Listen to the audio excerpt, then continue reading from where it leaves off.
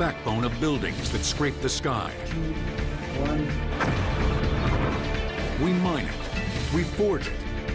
We even eat it. It makes weapons that alter the course of war. But it's also the key to coloring our world.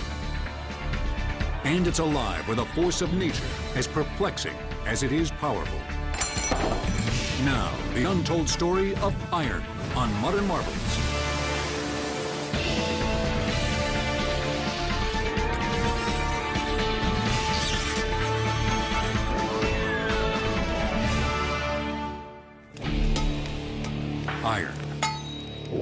Most abundant element on Earth, is the stuff that civilization is made from. It's everywhere. The indispensable heart of our buildings. Cars, ships, tools, and weapons. But it's also the foundation at the core of our Earth. And courses in our very blood. Iron's incredibly important to our survival. It's part of our entire being. Without iron, life as we know it wouldn't be possible. Iron is invaluable not just because of its unique strength, but because extreme heat can make it surprisingly pliable. Iron is one of the few things on Earth that can go from an ore like this through fire and forging and become a tool like this that'll last for generations. Iron's muscle comes from its atom's superior ability to share some of its 26 electrons with other iron atoms, forming a vice-like bond. There's no limit to the size of the resulting lattice structure. So that's the secret of its strength.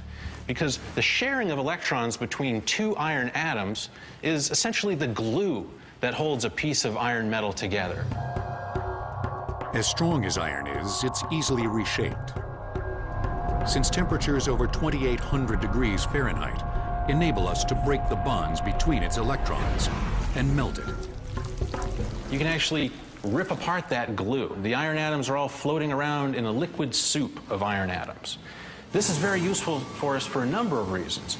You, if you want to, you can pour it into a mold and essentially cast that iron into whatever shape that you want. Iron in the form of steel is the most recycled material in the world.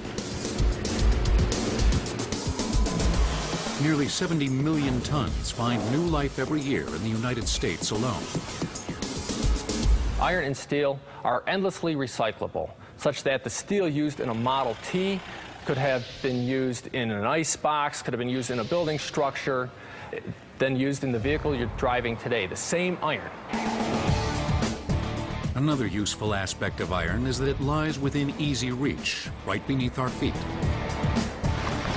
The Earth's crust is comprised of about 5% iron ore. And miners extract 1 billion tons of it every year. This enormous open pit mine in Minnesota taps one of the largest deposits of iron ore in the United States. The ArcelorMittal Minorca mine processes more than 10 million tons of iron ore a year. This uh, pit that we're standing in right now is about a mile wide by about 3,000 feet in length. We mine several layers of ore here. We're right now about 400 feet down to the bottom of the pit. Open pit mining is a methodology of mining where you excavate and take off the stripping materials, the waste materials are on top of the ore, expose the ore, and essentially in the process make a giant hole in the ground. The demand for iron is so great that we run this operation 24 hours a day, seven days a week, 365 days a year. Where did all this iron come from? Billions of years ago, long after the Big Bang, stars created heavy elements within them until the stars became supernovas. One in particular helped create the Earth. When that dying star exploded, it blasted iron and the other elements all over its area of the galaxy, When the Earth first formed, it was a grand mix of elements, the remnants of the supernova. And then, as that stuff segregated out into various pockets, the iron, which is very dense, sunk by and large to the core. In fact, 98% of the Earth's core is iron. But enormous quantities of iron stayed on the Earth's crust, sometimes in the form of deposits, like a mountain range full of pure iron that stood in what is now Minnesota. The first rains that fell on Earth were highly acidic and dissolved the iron mountains, creating an iron-rich ocean. A few hundred million years later, the dissolved iron solidified and settled to the bottom, leaving the deposits we mine today. Here in Minnesota, we believe we have enough iron ore to last uh, mining activity for, for another 100 years with, uh, with the iron that's currently making ore today. The ore extracted here is an iron oxide called magnetite, which is 22% iron.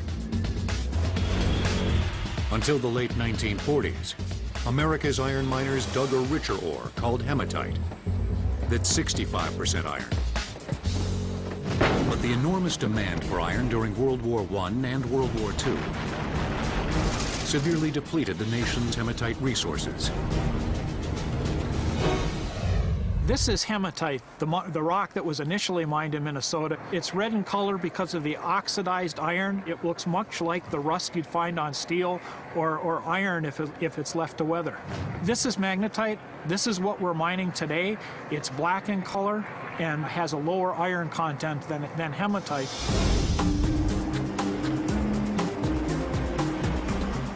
Ten seconds to mini blast. Getting to the magnetite ore starts with a bang.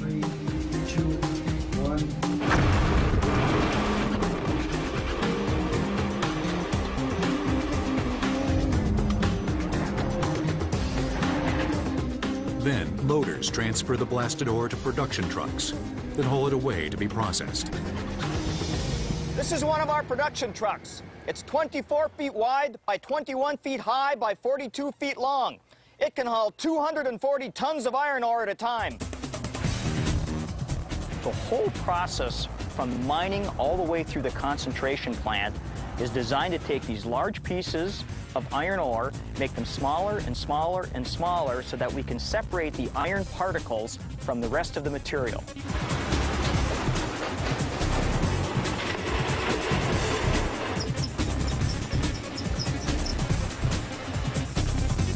After crushers and grinders reduce the iron ore to a powder, mixers combine it with water to form a slurry. The slurry then passes through magnetic separators. The magnetic separators are large drums that are 10 feet in length, 4 feet in diameter, and contain stationary magnets. As the drums rotate, they pick up the magnetic iron particles that are in the ore and separate them from the non-magnetic particles. Machines mix the iron slurry with clay, which is then molded and baked at 2400 degrees Fahrenheit into convenient, easy to transport, marble-sized pellets. This is what it's all about. Iron ore pellets that contain over 60% iron. This is our final product, ready for shipment.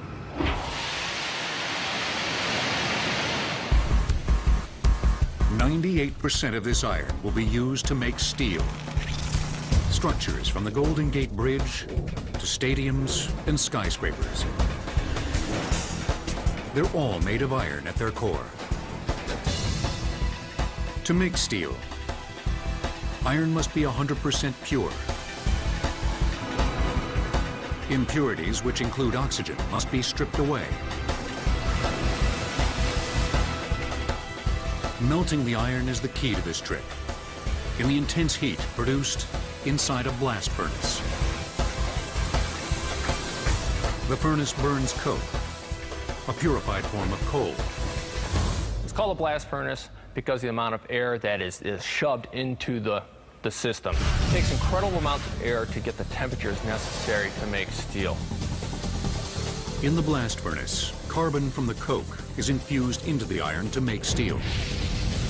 Too much carbon will make it brittle, so just a small amount, no more than 2%, is all it takes. This is a snapshot of what iron looks like on an atomic level. When you make steel, you've actually taken the crystal structure of the iron and you've crammed a carbon atom into one of the holes in the crystal structure. What this does is it makes it harder for you to slide the iron atoms around with respect to each other because you've, the, you've got this guy crammed in there. The presence of this carbon atom, a bad fit as it is between these iron atoms, is what gives steel its great strength. Adding other elements or alloys to this fusion of iron and carbon produces a variety of steels that have different properties. For decades, the iron atom's flexibility has helped the steel that surrounds us to vary greatly in its strength and pliability. And now, with modern computer technology, experts are able to mix more precise amounts of alloys to iron to produce a new enhanced generation of steels. We call them the new advanced high-strength steels. They are five to six times stronger than the steels we've used in the past, making vehicles lighter, safer, and more fuel efficient. Since 2000, all major auto manufacturers have been incorporating the new advanced steels into their car bodies. The value of these steels in a crash is their ability to absorb energy. So rather than the, the passenger absorbing the energy, your vehicle structure takes the energy and keeps the passenger safe. The new steels have proven their strength and durability in drop tests, in which a 400-pound weight drops from 20 feet to simulate a 35-mile-an-hour crash. This is the result of the drop test. Here's our sample. With the old steel, it, it crushes six inches. With the new steel, crushes three inches because of its increased strength and energy absorption capability. If you think adding strength to this new steel also means adding weight, think again. Here's an automotive component made with the old technology. It weighs 40 pounds. Accomplishing the same structure with the new technology is considerably lighter, you can see, and it weighs 32% less in weight. Since the new steels are lighter and stronger, less is needed to meet crash safety standards. Today, the typical car body contains 10 to 15 percent of the new generation of steels in its construction. By 2020, experts predict this will increase to 40 to 50 percent. When the new steels are fully implemented on the car body, they'll be applied to the rail and to the bumper for front impact, into the safety cage structure for side impact and for roof strength as well as to the door beams for side impact. And for rear impact, they're applied to the rear bumper and to the rails. Iron in the form of steel may save lives on the highway, but for millennia, iron has been used to take lives on the battlefield.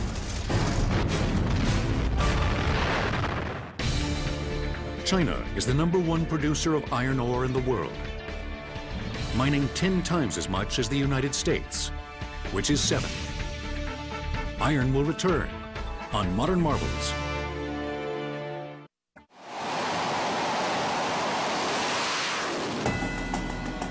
The USS Ronald Reagan, one of 13 aircraft carriers in the United States Navy's fleet, is a floating city made of 60,000 tons of steel. And more than 98% of that prodigious bulk is comprised of iron.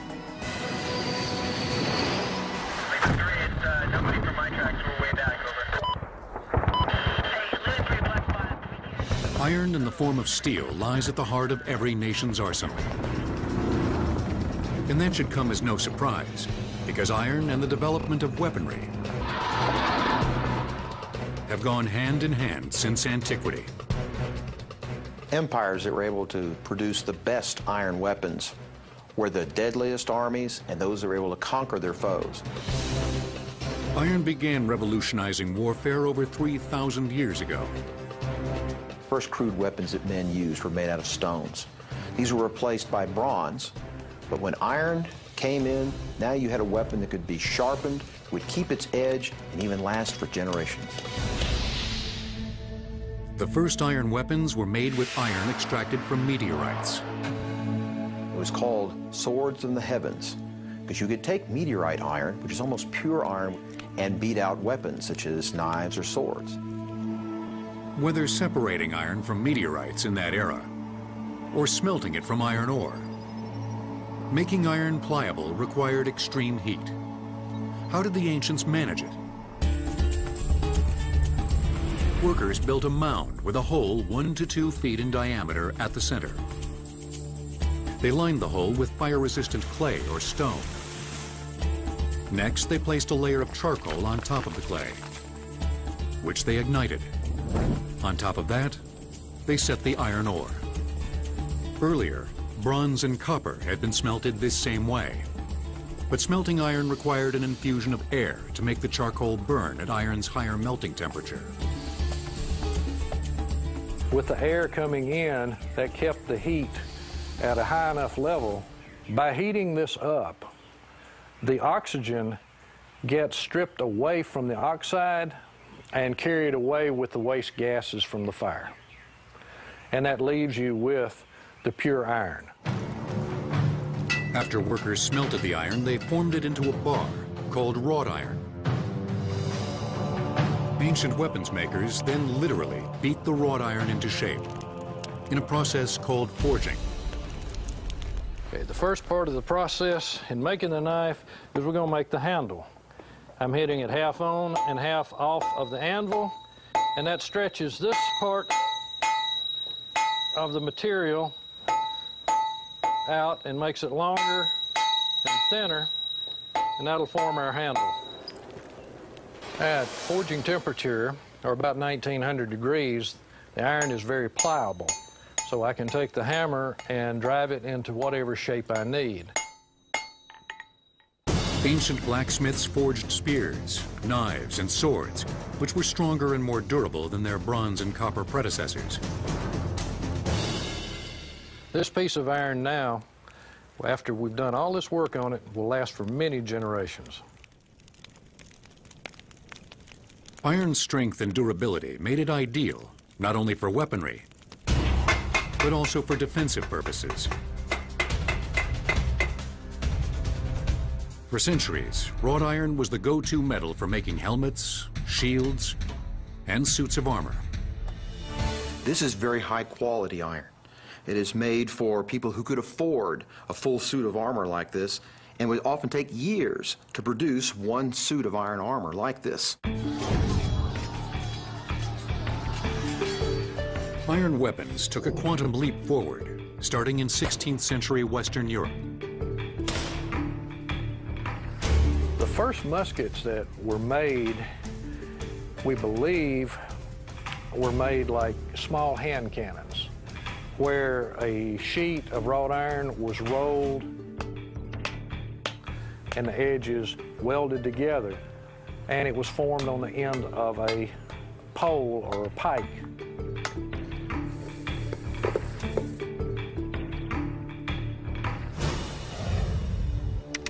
The wrought iron musket barrel achieved devastating effects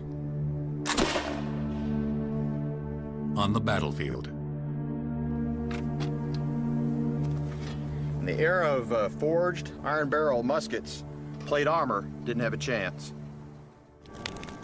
Beyond the wrought iron used to make muskets was cast iron. This was essentially iron melted down to a liquid, which was poured into a mold or cast and then cooled. This is an example of cast iron. This is all one piece. The advantage of making pieces of cast iron this way is you can make multiple pieces that are just alike and in a very short period of time. But cast iron has one major problem. It's brittle. In 1856, British engineer Henry Bessemer found a way to make a stronger form of iron by combining it with carbon in a blast furnace to make steel. Now with steel, you could cut it, you could mill it, you could shape it in not only a tube, but also a breech loading barrel. With the addition of metallic cartridges, you could make a very successful not only breech loading weapon, but repeating weapon as well.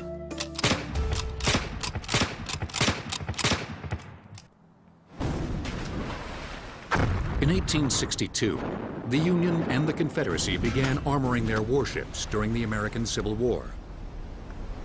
The ironclad ships, they were made from sheets of wrought iron. These sheets were applied either to a wooden hull ship, such as the uh, Merrimack, or the entire ship was made of sheets of wrought iron that were riveted together to form the hull and a turret on top of the deck, as in the case of the Monitor. In their one and only battle, both ships received dozens of direct hits, but remained afloat. In the end, the battle was a draw. Iron proved to be the real winner, changing naval warfare forever. By the 20th century, iron-rich hematite supplied America's vast steel industry. In 1915, steel supported a new mechanized war.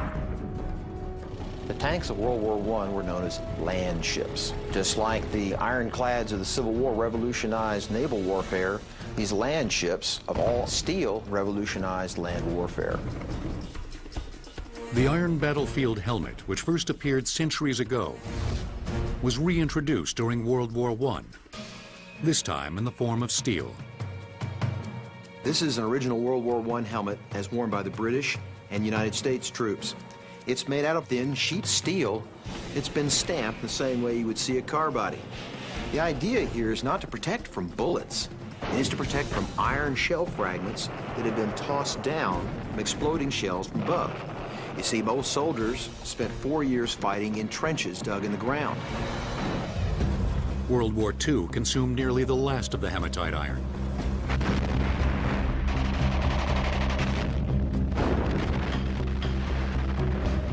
More than 65 million tons of ore was produced in 1944 alone, allowing American steel to rule the battlefield, the oceans, and even the skies.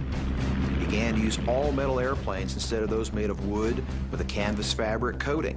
Steel began to replace all other organic materials for weapons.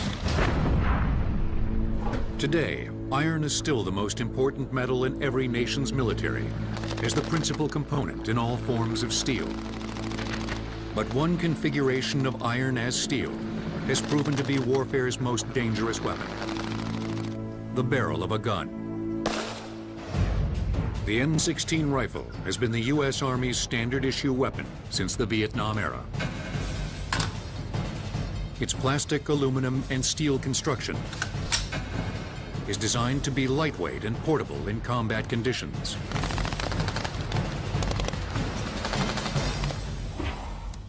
But to achieve pinpoint accuracy, gunsmiths at Fort Benning, Georgia, use a heavier steel. Getting rid of the plastic, aluminum when you can, you end up with a much better product. And adding iron to the rifle make, makes it a much better rifle, a much more accurate and much more precise. They beef up the M16 rifle for the elite Army marksmanship unit. Take a standard issue M16 and we basically rebuild it starting at one end to the other. The M16 barrel is reinforced with high-grade chrome moly steel.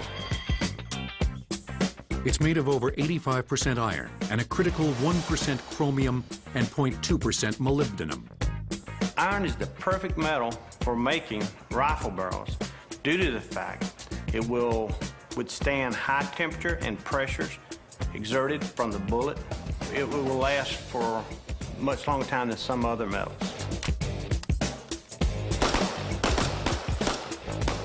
With each shot, the barrel must stand up to the force of a bullet speeding 3,000 feet per second, with a pressure of 65,000 pounds per square inch.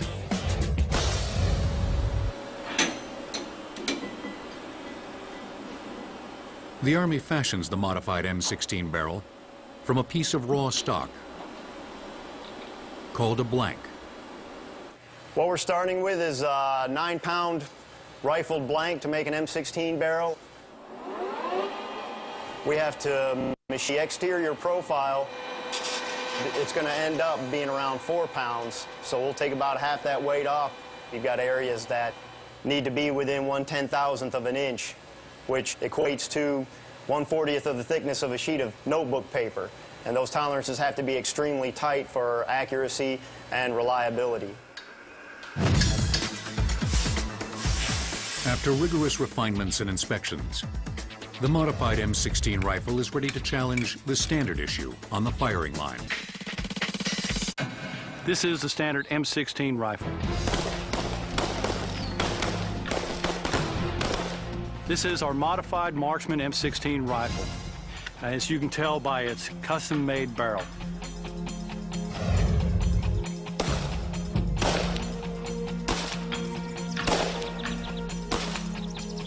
This target was shot with a standard M16 rifle, and it's about a 7-inch diameter group. This target was shot with a modified match M16, and it's about a one and a half inch group. Although it has been synonymous with war, iron is invaluable to modern society.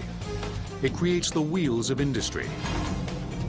And one of its most mystifying properties helps turn them.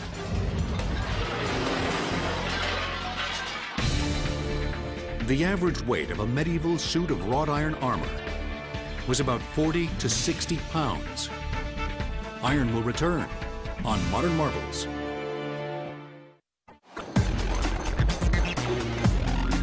One of iron's most curious properties provides the motion that powers the machines of our world. It's magnetic. Magnets are so important to the way the world works. The forces between magnets, the attractions and repulsions, can make things move. This is a super magnet, made of iron combined with a couple of other elements. Boron and neodymium. It is 100 times stronger than the magnet on your refrigerator. Supermagnets can be very dangerous. They exert such enormous forces on one another that if your hand is in the way when they leap, you're in trouble. I've put one supermagnet inside this wine glass, and I'm going to bring the other supermagnet up toward it. This attractive wonder is a so-called permanent magnet, an iron-bearing metal that retains its magnetism after the removal of the magnetic force. That force can either be another permanent magnet or a jolt of electricity.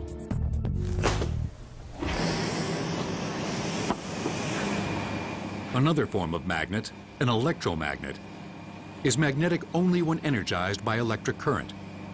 Combine electricity with any piece of iron, and you've got an electromagnet. This is a piece of ordinary iron. It's not magnetic. It won't pick up the other bolts. To make it magnetic, I'm going to wrap this wire around this bar. Now, when I run electric current through this coil of wire, it will turn into a magnet, an electromagnet. And now, it picks up the iron. But if I cut the power, magnetism goes away. This property is the key to movement in electric motors that power our industry. An electromagnet called the armature revolves between the north and south poles of a stationary permanent magnet called the stator. The armature rotates until its north pole is opposite the south pole of the stator. The direction of the armature's current is then reversed. The two south poles repel each other, pushing the armature forward. The current reverses every half turn, keeping the armature in motion. Iron is not only an integral part of the machinery powering our world, but also a mineral nutrient within each of us, crucial to our biology. The same iron that everybody sees around the world is the same iron within us as small microscopic particles. And without this iron, we will cease to live. We help maintain our body's vital supply of iron by ingesting iron contained in meat and from vegetables. Another source is certain brands of fortified breakfast cereals, which contain iron baked right into the flakes. There actually is a scientific way of determining the amount of iron present in a fortified cereal. All it takes is grinding up the flakes into a mash and using a magnetic stirring bar. The iron in the cereal is attracted to the magnetic bar. Then, a quick rinse. There's about 8 milligrams of iron present in a bowl. When you start the day with a fortified breakfast cereal, you're actually eating pure iron filings. Whatever its source, iron's critical mission is transporting oxygen through our bodies. Normally, combining iron and oxygen produces iron oxide, sometimes known as rust, which, no surprise, could do our bodies great damage. But iron, which exists in our red blood cells, latches on to oxygen molecules. So why doesn't it turn to rust? The body's intriguing solution is to place the iron in a cage-like molecule called heme. Heme is a beautiful cage that is made inside our body. It captures and encloses the iron in the center and prevents it from turning to rust when it binds to oxygen. The iron and oxygen inside the heme attaches to a protein called globin. The new molecule, hemoglobin, travels in the blood, delivering oxygen throughout the body. But the genes that control this iron-dependent transportation are elusive. Discovering them is critical because more than 2 billion people, a third of the world's population, are anemic, lacking sufficient supplies of iron and heme. Anemia can weaken the body's immune system and trigger life-threatening infections and diseases. This microscopic transparent worm may be the key to unlocking the mystery. 70% of its genes are identical to ours. And like us, it needs iron and heme to survive. So what we did was we took a small amount of iron and heme and put it on this petri dish. So we can directly look at now what happens in a transparent animal as they're actively feeding on this iron and heme. Dr. Hamza conducted experiments in 2007 that revealed some of the worms digested iron less successfully than others. He went on to identify the missing or mutated genes of those worms, marking a major breakthrough. We were ecstatic because this will now provide us with a small clue as to how we transport iron and heme. This will provide us with the missing link between iron deficiency and anemia. With heme, the body may know how to avoid rust, but rust is everywhere in our environment. It's plagued us for centuries, but it has also blessed the world with color. Iron magnets can be found in your cell phone, stereo speakers, vacuum cleaner, refrigerator, washing machine, and car. Iron will return on Modern Marvels.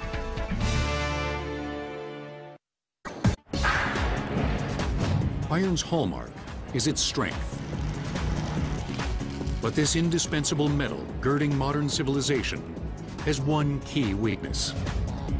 When exposed to air or water, iron turns to rust. We don't like rust because it weakens our structures, our buildings, our bridges, and it's quite a serious problem. It's a multi, multi million dollar industry trying to control it, trying to stop it from happening.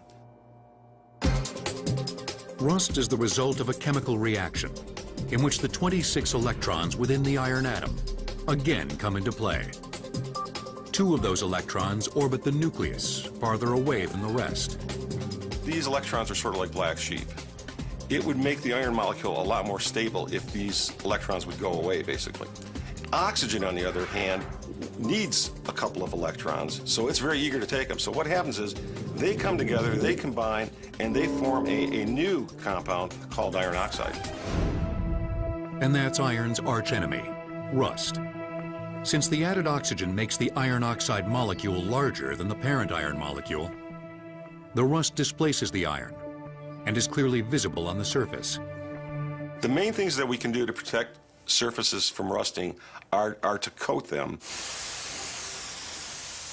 and stop uh, the ability of oxygen and water to get to the surface in the first place.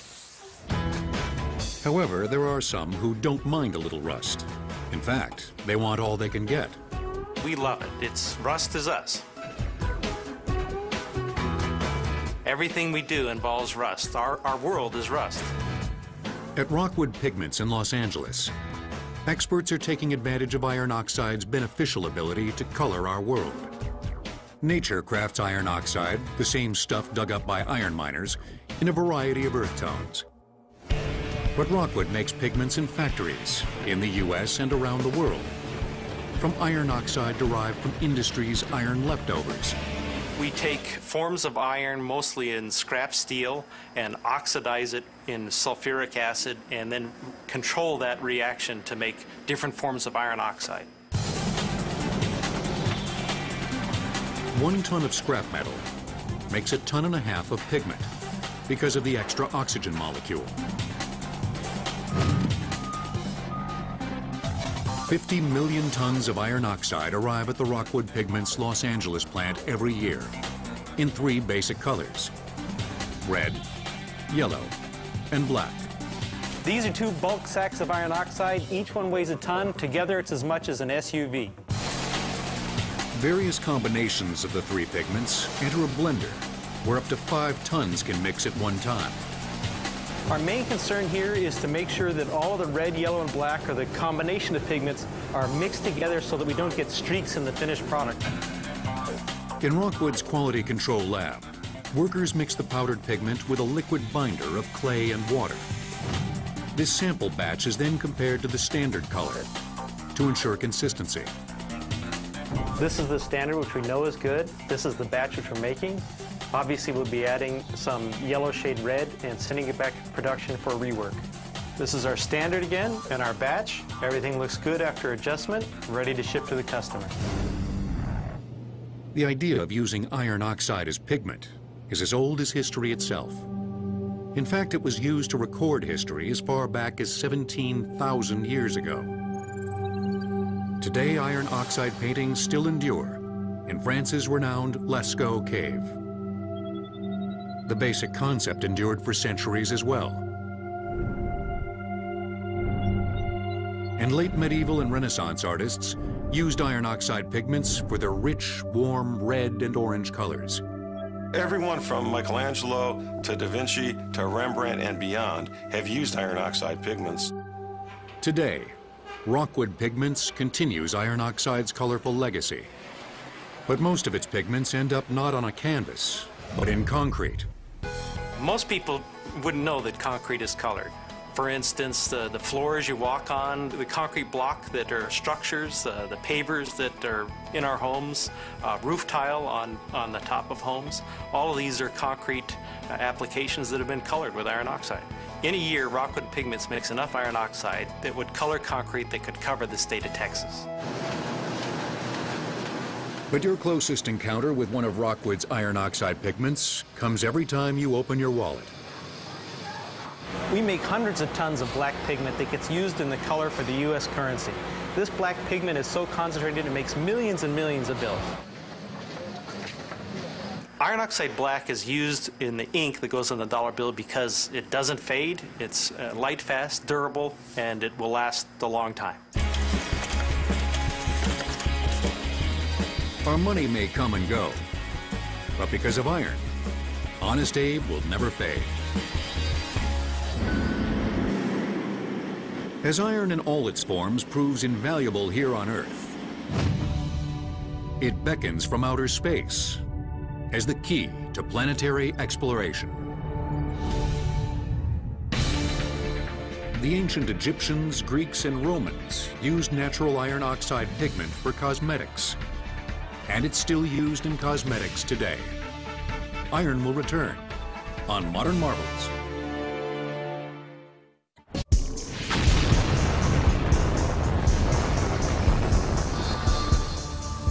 As NASA's Mars lander, the Phoenix began searching for signs of water on the red planet in May 2008. A different treasure was right at its feet.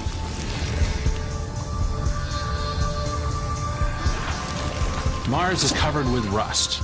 Mars is known as the red planet because of the iron oxides present in the Martian soil. There's probably billions of tons of iron on Mars that would satisfy civilization for hundreds of years, if not thousands of years. While the Earth's crust is less than 5% iron, the crust of Mars contains 14%. This vast resource beckons the futurists, including researchers affiliated with the Space Commerce Company, Four Frontiers. They're studying ways to mine beyond Earth. Four Frontiers got its name from Earth, asteroids, Moon, and Mars. And the four of these makes our four frontiers.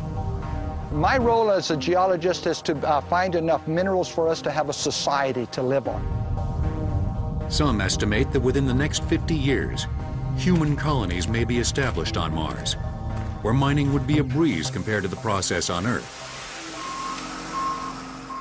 On Earth, for us to get to the iron, we have to create these gigantic open pits that you see in front of us, where they go down hundreds of feet just to get to the iron, and they cover hundreds of square miles in the end. Whereas on Mars, all of the iron ore is sitting right on top of the surface, and although it covers hundreds of square miles, we don't have to dig down very deep, maybe about 18 inches, so that's a lot different than what you see in front of us here. The Martian surface may prove to be even more user-friendly than imagined. The pictures sent back from the Mars rover missions suggest that natural processes have already accomplished a key part of the mining. When the probe landed on the Mars surface and started roaming around, they started noticing all these little round pellets, and they were wondering, what in the world is that? And they discovered that they was actually iron minerals. Scientists believe those pellets contain amounts of iron similar to the man-made pellets that need to be mined, crushed, and baked here on Earth. What's really good about the iron ore deposits on Mars is they're already in pellets. We don't have to go and manufacture these and mine them and make a little pellets. It's already there for mining, and we can go ahead and put them in a blast furnace. Martian mining offers one further advantage over Earth. Gravity on Mars is about 38% of what it is on Earth, so everything is a lot lighter. We don't need the big heavy machinery because everything is on the surface. All we have to do is just scoop up the iron minerals and transport the iron minerals to our uh, community where we'll convert it into iron metal. The iron mined would be refined on Mars itself to help build the infrastructure of extraterrestrial colonies on Mars and beyond. Okay, now we're on Mars. We have to have a place to live. We have to have instruments. We have to have machines. And therefore, we have to have iron. And it's way too expensive and way too heavy to bring that iron from Earth to Mars. So we want to find it on Mars and use it there. And, and once we start manufacturing the products, then we can take it into the other heavenly bodies. This is like a way station for our expansion of our people into space. As rich as the treasure of iron on Mars is, the true mother lode is on asteroids. Some scientists believe they're comprised of up to 98% iron. There's about four or five asteroids that we think are principally iron deposits. And these asteroids are so big that they actually have more iron than we've ever produced on planet Earth. Only time will tell if dreams of mining this essential metal in the heavens will come true. But even if our only source remains here on Earth, our need for iron promises to endure as long as we do. We'll always have iron. Iron will always be a central part of our lives. It's part of our structures, it's part of our motion.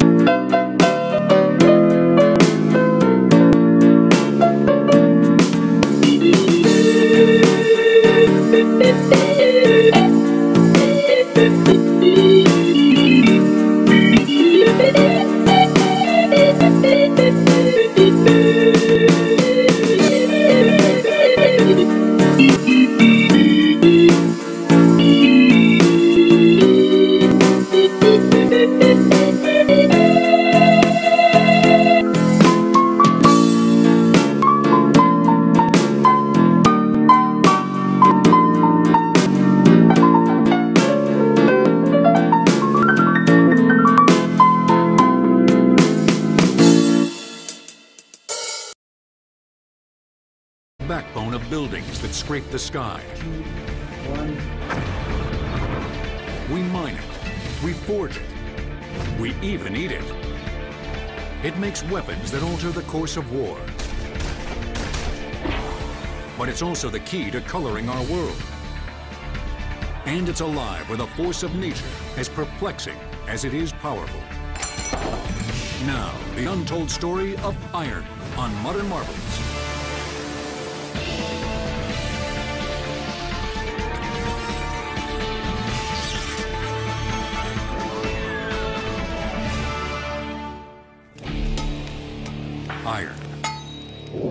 Most abundant element on Earth, is the stuff that civilization is made from. It's everywhere. The indispensable heart of our buildings. Cars, ships, tools, and weapons. But it's also the foundation at the core of our Earth. And courses in our very blood. Iron's incredibly important to our survival. It's part of our entire being. Without iron, life as we know it wouldn't be possible. Iron is invaluable not just because of its unique strength, but because extreme heat can make it surprisingly pliable. Iron is one of the few things created heavy elements within them until the stars became supernovas. One in particular helped create the Earth. When that dying star exploded, it blasted iron and the other elements all over its area of the galaxy. When the Earth first formed, it was a grand mix of elements, the remnants of the supernova. And then, as that stuff segregated out into various pockets, the iron, which is very dense, sunk by and large to the core. In fact, 98% of the Earth's core is iron. But enormous quantities of iron stayed on the Earth's crust, sometimes in the form of deposits, like a mountain range full of pure iron that stood in what is now Minnesota. The first rains that fell on Earth were highly acidic and dissolved the iron mountains, creating an iron-rich ocean. A few hundred million years later, the dissolved iron solidified and settled to the bottom, leaving the deposits we mine today. Here in Minnesota, we believe we have enough iron ore to last uh, mining activity for, for another 100 years with, uh, with the iron that's currently making ore today. The ore extracted here is an iron oxide called magnetite, which is 22% iron. Until the late 1940s, America's iron miners dug a richer ore called hematite. That's in an ice box, could have been used in a building structure, then used in the vehicle you're driving today. The same iron. Another useful aspect of iron is that it lies within easy reach, right beneath our feet. The Earth's crust is comprised of about 5% iron ore, and miners extract 1 billion tons of it every year. This enormous open pit mine in Minnesota taps one of the largest deposits of iron ore in the United States.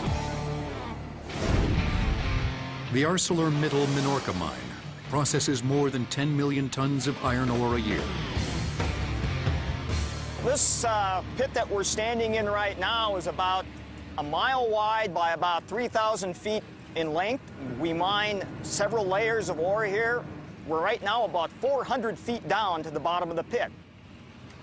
Open pit mining is a methodology of mining where you excavate and take off the stripping materials, the waste materials are on top of the ore, expose the ore, and essentially in the process make a giant hole in the ground. The demand for iron is so great that we run this operation 24 hours a day, seven days a week, 365 days a year. Where did all this iron come from? Billions of years ago, long after the Big Bang, stars 65% iron. But the enormous demand for iron during World War I and World War II severely depleted the nation's hematite resources. This is hematite, the, the rock that was initially mined in Minnesota. It's red in color because of the oxidized iron. It looks much like the rust you'd find on steel or, or iron if, it, if it's left to weather. This is magnetite. This is what we're mining today. It's black in color and has a lower iron content than, than hematite.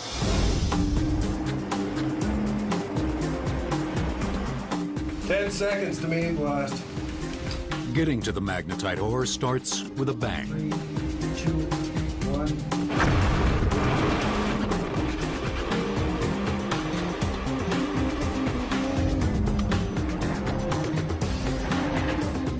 Then loaders transfer the blasted ore to production trucks that haul it away to be processed.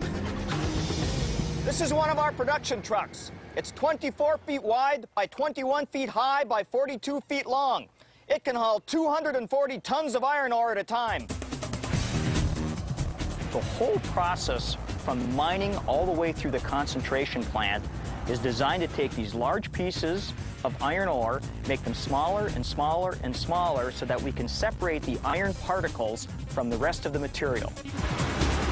on Earth that can go from an ore like this through fire and forging and become a tool like this that'll last for generations. Iron's muscle comes from its atom's superior ability to share some of its 26 electrons with other iron atoms, forming a vice-like bond. There's no limit to the size of the resulting lattice structure. So that's the secret of its strength. Because the sharing of electrons between two iron atoms is essentially the glue that holds a piece of iron metal together. As strong as iron is, it's easily reshaped. Since temperatures over 2800 degrees Fahrenheit enable us to break the bonds between its electrons and melt it. You can actually rip apart that glue. The iron atoms are all floating around in a liquid soup of iron atoms. This is very useful for us for a number of reasons. You, if you want to, you can pour it into a mold and essentially cast that iron into whatever shape that you want. Iron in the form of steel is the most recycled material in the world. Nearly 70 million tons find new life every year in the United States alone.